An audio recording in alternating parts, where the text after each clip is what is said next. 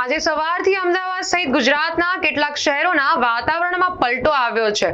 શહેરમાં વાદળછાયું વાતાવરણ અને પવનના કારણે વાતાવરણમાં ઠંડક છવાઈ છે. જેમાં ગરમીથી લોકોને રાહત મળી છે. આ દરમિયાન હવામાન વિભાગના અધિકારી મનોરમા મોહંતીએ કહ્યું, હાલમાં અરબી સમુદ્ર પરથી ભેજયુક્ત પવન આવે છે. પવન ભેજ તથા બીજા પરિબળોના કારણે વરસાદ અને વરસવા માટે અનુકૂળ માહોલ મળી રહે છે. જેના કારણે વરસાદ પડી રહ્યો છે. આ પ્રી મોન્સૂન એક્ટિવિટી છે. રાજ્યમાં આગામી પાંચ દિવસ સુધી સામાન્ય વરસાદની આગાવાહી કરવામાં આવી છે.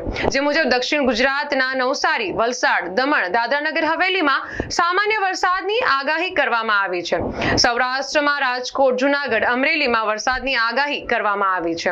આ ઉપરાંત ઉત્તર ગુજરાતમાં બે દિવસ સુધી બનાસકાંઠા, સાબરકાંઠા અરવલ્લીમાં હવામાન વિભાગે વરસાદની આગાહી કરી છે. બે દિવસ સુધી વેસ્ટર્ન ડિસ્ટર્બન્સની અસર રહેશે.